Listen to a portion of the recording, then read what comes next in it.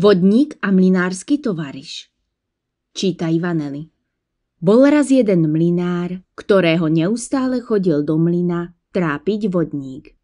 Mlinár sa potom bál už v mlyne bývať a chodil spávať inde. Raz prišiel do mlyna mlinársky pomocník a prosil o nocľah. Mlinár povedal Braček môj, nemôžem ťa prenocovať, ani ja tu nenocujem, pretože tu veľmi straší vodný duch. Trápi ma a sužuje. Mlinársky tovariš na to odpovedal. Ja sa ho nebojím a rád by som vedel, čo je zač. Mlinár na to nič nepovedal a tak mládenec zostal v mline na noc. Mlinár mal na stene zavesené husle.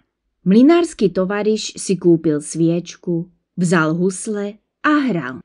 Ani si nevšimol, že za ním stojí Hastrman, až keď počul škrekľavý hlas. Vodník prišiel až k nemu a povedal. Nauč ma hrať na tých husliach.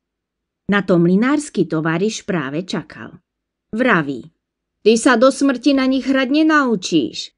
Potom mu však predsa tie husle dal do ruky a povedal. Hraj, ale musíš pekne preberať po strunách. Vodník skúsil hrať Husle však na miesto spevu škrípali a kvičali. Dva prsty, na ktorých pri hre najviac záleží, mal vodník krivé. Prestal hrať a spýtal sa mlinárskeho tovariša. Čo by som s tými krivými prstami mal urobiť, aby boli rovné? Mlinársky tovariš odpovedal. Ak chceš, ja ti ich napravím. Vzal veľký nebožiec, vyvrtal na stĺpe pri dverách dve diery Otesal dva malé kliny a vraví vodníkovi. Strč sem tie prsty, budeme ich rovnať a ak ťa to bude trochu bolieť, povedz mi. Oni sa tam pekne usadia. Vodník tak urobil.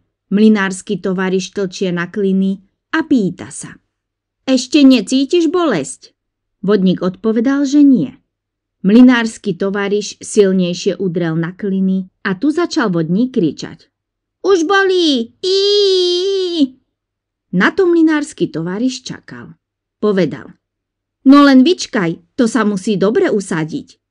Potom šiel, schytil do ruky korbáč a vodného muža ako obšíva, tak obšíva a pritom mu vraví. Teraz sa mi zaprisaháš, že už nikdy nebudeš sem do tohto mlyna chodiť, nikoho strašiť a sužovať. Vodník to rýchlo odprisahal, len aby to rovnanie už prestalo. Mlinársky tovariš vyrazil kliny a vodník utiekol von.